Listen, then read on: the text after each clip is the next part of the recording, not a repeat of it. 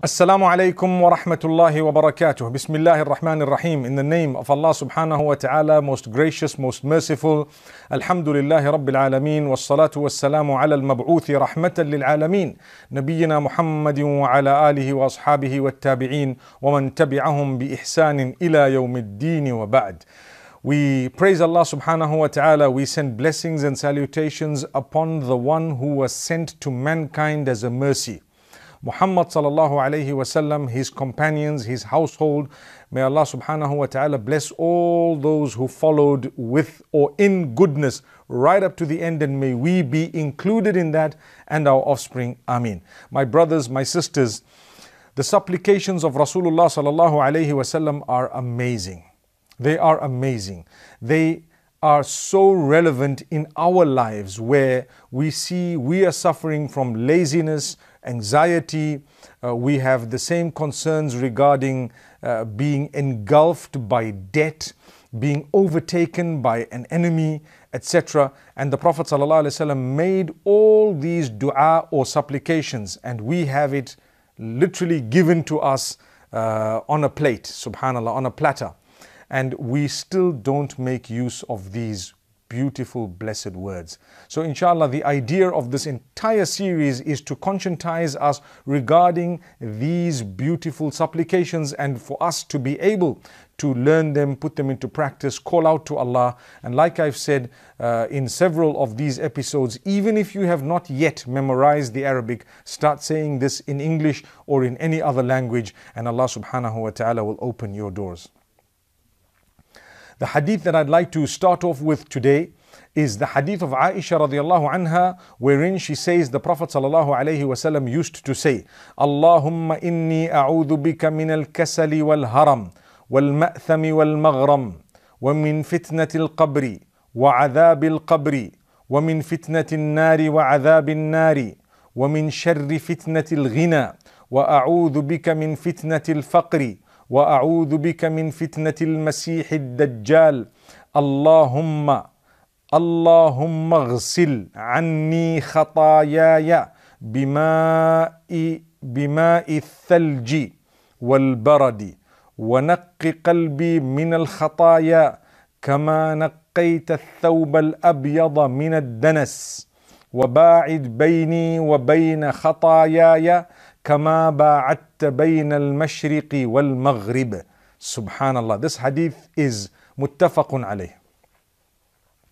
So the meaning of this dua is, O Allah, I seek your protection from laziness and from old age. And I seek your protection from sin. So protect me from sinning.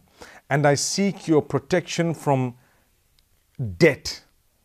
You know, debt meaning I owing people money. And this brings me to a very interesting factor. We are not allowed to just go about, you know, borrowing from people when we don't really need. It's only when you're in a dire need that you actually are allowed to go and ask people, uh, you know, I, I, can't manage, I can't cope, I need to borrow some money. Please, can you, uh, you give me some money? I will give it back to you, etc. But if you're just going to ask the, the people when you don't really need, then Allah subhanahu wa ta'ala is not going to help you to pay back because it becomes a bad habit. People want to live beyond their means. May Allah subhanahu wa ta'ala make us from those who understand, those who can budget correctly when we actually uh, are spending. So, O Allah, I seek your protection from laziness, from old age, from sin, and from debt. And I seek your protection from the trials of the grave and the punishment of the grave. Two things are made mention of. Min fitnatil qabri wa adhabil qabri. The trials of the grave and the punishment of the grave. And I seek your protection from the trials of the fire and from the punishment of the fire. It's amazing how there are trials of the fire and there is punishment of the fire. And I seek your protection from the harms of wealth. Amazing. From the harm of being wealthy. What could that be? Arrogance, haughtiness, uh, a person who, you know, uh, has become so bad in qualities and character because of the money, wastefulness, uh, extravagance, all those are sins of being wealthy. So, the Prophet ﷺ is asking Allah subhanahu wa ta'ala to protect him from the evil of the trials of being wealthy, the bad habits that come with wealth. Subhanallah, the bad that comes with wealth. And the evil of the trials of wealth also may include the jealousy of others, the envy of others. Oh Allah, protect me from all of that. Because I've got, people become jealous, envious, they want to harm, they want to falsely accuse, etc. All of that, oh Allah, protect me from it. So, Allahumma inni a'udhu bika min sharri fitnatil ghina. Oh Allah, I seek your protection from uh, the, the, the harmful uh, trials of wealth. Subhanallah. Amazing. It's amazing how it's worded because it's something that's even difficult to explain in the English language or in another language. It's unique. It's jawami'ul kalim. It's the gift of the Prophet ﷺ of a few words having deep, rich meaning. Then he says, وَأَعُوذُ بِكَ مِنْ فِتْنَةِ الْفَقْرِ And I seek protection from you, I seek protection in you from uh, the trials and difficulties of poverty. Look at how he made a dua to protect him from the evil of wealth, the evils of being wealthy. And then he says, and from the trials of being poor. They're, both the du'as are here. No one can say he missed something out because he is saying, Oh Allah, protect me from poverty and protect me if I were to be given wealth from the harm that that wealth comes with. Subhanallah, amazing, amazing. Uh, these words, they bring tears to the eyes because we think of how the Prophet ﷺ, he didn't really need all of this. But he called out to Allah. He called out to Allah. How much do we call out to Allah? How much do we call out to Allah? Have you ever said, have I ever said, Oh Allah, protect me from the evil that will come with wealth? I, I can be honest with you, besides from the hadith and reading the hadith and going through the hadith, I cannot remember actually calling out to Allah subhanahu wa ta'ala. But now I'm going to become more conscious of it and I invite you all to become more conscious of it. Oh Allah, protect me from the evil and the trials of wealth and being wealthy. I may not be wealthy right now, but the money that comes into my pocket, subhanAllah. You know, something's come to my mind right now. When we have wealth, we have to pay zakah. Zakah is compulsory. We, you have to give a certain percentage. When that wealth becomes so much, shaitan can come to you and start making you miscalculate or try to say, no, I don't have to give so much and, and this and that, because it becomes difficult. When, when the figure becomes huge, the percentage is the same, but the figure becomes more difficult to give. Imagine 2.5% of 100 is only 2.5 pounds or $2.5. But 2.5% of 100 million is what? Subhanallah. You ready to give that? May Allah subhanahu wa ta'ala make it easy for us. So these are some of the trials of wealth that the Prophet ﷺ is asking Allah to protect him from. And what about us? We ask Allah subhanahu wa ta'ala to grant us wealth, to grant us wealth, to grant us sustenance, to make us rich. But we forget to ask Him, Oh Allah, protect us from the evil that's going to come with that.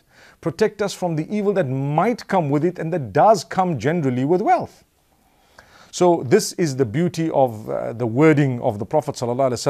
He, say, he says, firstly, he says, Oh Allah, protect me from uh, the evil of the trials of wealth. And, the, and then he says, Oh Allah, protect me from uh, the trials of poverty as well. Poverty comes with a lot of trials, subhanAllah. May Allah subhanahu wa ta'ala grant all those who are struggling uh, financially. May He grant them ease and sustenance. May He bless every one of us with beautiful sustenance that is pure and that we will be able to use in His obedience and not in His disobedience. Ameen. Then the dua continues, وَأَعُوذُ بِكَ مِنْ فِتْنَةِ الْمَسِيحِ الدَّجَّالِ and I seek your protection from the trials and tribulations of the false Messiah, of Ad-Dajjal. Dajjal is whom we know, we've heard of uh, in the hadith of the Prophet ﷺ, uh, this one-eyed uh, man who is a huge person who's going to be coming to create havoc on earth and to wreak havoc on earth. The Prophet ﷺ used to make dua to Allah to protect him from the trials and tribulations of that false Messiah which means the Dajjal. Uh, may Allah subhanahu wa ta'ala protect us from him uh, and protect us from all the fitna that surrounds him. When he comes, he will come with a few things. He will say he is the Lord and the God. Whoever believes that he is not the Lord and the God shall be harmed, probably killed. He will say that he owns sustenance. You want, you disbelieve in Allah, you believe in Him, you follow Him, you obey His orders, He will provide for you. If you don't believe that, He will harm you, perhaps even kill you. He will come with so much of uh, trials and tribulations, he believes and he will say that he is the one who actually uh, controls the produce and the rain, etc. And if you don't follow him and take him as a God, he won't give you. So those are the trials and tribulations of Al Masih ad Dajjal as well. At any time when you have a person or when you have a force that happens to be uh, calling in the same direction, they will be considered a force that is a devilish force. Uh, with this impact, we are asking Allah to protect us from. May Allah subhanahu wa ta'ala protect us from that. May He make it easy for us to worship Him, uh, to worship Him, meaning Allah and Allah alone. Ameen. Uh, then the Prophet said, Allahumma ghsil anni khatayaya. Oh Allah, wash away from me my sins. And the Prophet had no sins. So he is saying, Oh Allah, wash away from me my sins. Bima wal barad. With the water of ice and snow, subhanallah. You know, the hailstones we have, the ice we have, the snow we have, all this cold, cold uh, water. Why is it that when the sins are being spoken about, then ice and snow is used to refer to the washing away of the sins? Because the sins have a heat the heat of the punishment of Allah. When you commit a sin, there is heat. There is heat to the sin. So you're saying, Oh Allah, cool me down, calm me down. L- let me not commit sin and wash my sins away in this with that cold, icy water that is filled with, uh, you know, barad and thalj, the ice, the hail, the, the, the, the snow, subhanallah. May Allah subhanahu wa ta'ala wash our sins away. Uh, this is a beautiful dua. اللهم اغسل عني خطاياي بماء الثلج والبرد. Uh, this is one wording, it's a hadith which is muttafaqun alayh, but there are other wordings as well uh, where uh, Allahum, uh, th- there are different, uh, you, you, know, words used and the order is slightly different, but the meaning is quite much the same. And then uh, the hadith continues, وَنَقِّ قَلْبِي مِنَ الْخَطَايَا O Allah, purify my heart from the sins, the effects of the sins. Purify my heart from the effects of the sins. كما نقيت الثوب الأبيض من الدنس. In the same way that you purified the white uh, clothing from impurity, from impurity, from dirt. You know, when you have something white, it has dirt and it's washed. It's washed in a beautiful way with detergent and what have you and then you see it's so white. So Allah subhanahu wa ta'ala is being asked, saying, Oh Allah, wash my heart, cleanse my heart from sin, the same way you cleanse the white cloth or the white clothing from dirt and impurity. وباعد بيني وبين خطاياي كما باعدت بين المشرق والمغرب. Oh Allah, create a distance between me create a distance between me and my sins. In the same way that you have created the distance between the east and the west. Subhanallah. That's an amazing dua. Oh Allah, distance, create a distance between me and my sins in the same way you created the distance between the east and the west. Make me from among those whom you've wiped the sins out, you've made everyone and everything forget about them, and you've kept a distance between me and those sins. Whenever there is a sin to be committed, uh, distance me from that sin. Whenever there is uh, something bad, harmful, uh, create an obstacle so that I don't commit that sin. And whatever I have done, purify me, cleanse me in the same way that a white cloth is cleansed and make me from among those who is pure, pure once again. Create a distance such that I don't even think of those sins again. May Allah subhanahu wa ta'ala protect us from sin and grant us what the Prophet ﷺ is asking him in this beautiful hadith of Aisha radiallahu anha, which is muttafaq alayh. So, uh, when we start our salah, there is something called al-istiftah, which is a dua that uh, commences the salah. Generally, we say Subhanaka Allahumma wa bihamdika wa tabarak asmuka wa ta'ala jadduk wa la ilaha ghayruk you know, we praising Allah subhanahu wa ta'ala, declaring His greatness, His uh, loftiness, His, uh, you know, His status, and asking Allah subhanahu wa ta'ala, uh, saying that there is none worthy of worship besides Him. And then we continue with our salah. One of the du'as is also this Allahumma ba'id bayni wa bayna khatayaya kama ba'atta bayna al-mashriqi wal maghrib. O Allah, create a distance between myself and the sins in, and my sins in the same way that you have created the distance between the east and the west, which means make me far away from my sins. May Allah subhanahu wa ta'ala bless us all and grant us ease and give us from this beautiful dua. Just to recap quickly before we move on to the next dua. This dua is the dua of Aisha radiallahu anha. She says the Prophet sallallahu used to say, Oh Allah, protect me from kasal, laziness, haram, old age, ma'tham, sins, maghram, debt, fitnat al-qabri wa adhab al-qabr, the trials of the grave and the punishment of the grave, fitnat al-nari wa adhab al-nar, the trials of the fire and the punishment of the fire, ومن شر فتنة الغنى and the evil trials of wealth and rich and, and uh, you know being rich وأعوذ بك من فتنة الفقر and I seek protection from you O Allah uh, I seek protection in you from the uh, the trials of being poor or poverty وأعوذ بك uh, min fitnat al-masih al-dajjal and I seek protection in you from the trials of the masih al-dajjal the false messiah uh, the one-eyed devil as we call him and Allahumma ghsil anni khatayaya. Oh Allah, wash away my sins with cold, icy, snowy water. Subhanallah. Subhanallah, that's amazing.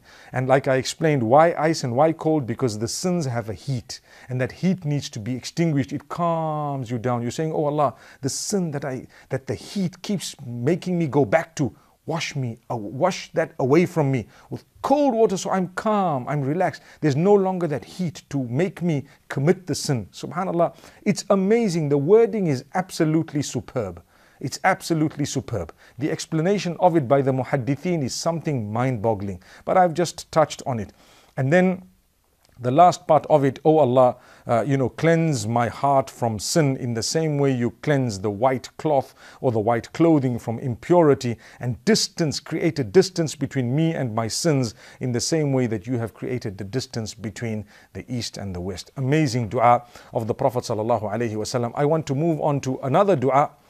Uh, which is also very, very powerful. It's a hadith of Abu Hurairah radiallahu anhu. He says the Prophet said, ta'awwadhu billahi. Seek the protection of Allah. So this is an instruction of the Prophet to all of us. Seek the protection of Allah from the following. من جهد البلاء ودرك الشقاء وسوء القضاء وشماتة الأعداء. It's just amazing how the Prophet ﷺ is speaking about it. جهد البلاء. O Allah, uh, meaning he's asking us to seek the protection of, of uh, uh, uh, protection in Allah from. So we are seeking the protection of Allah from the following. Jahdil bala, you know, the bala meaning difficulties, hardship, uh, the, the, difficulties of the trials, the difficulties of the trials.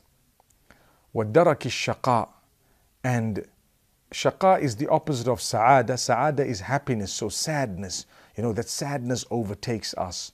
Destruction, the destruction that comes with it. Wasu'il qada and bad destiny. You know, make the destiny that you've destined for us good. We seek your protection from the evil of uh, the destiny, the evil of destiny.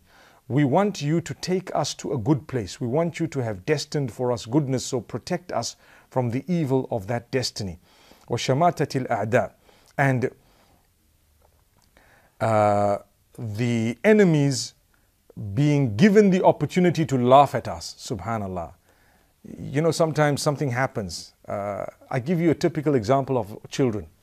You just had a little fight with someone, and as you're walking away, uh, having been victorious, you trip, and everyone laughs at you.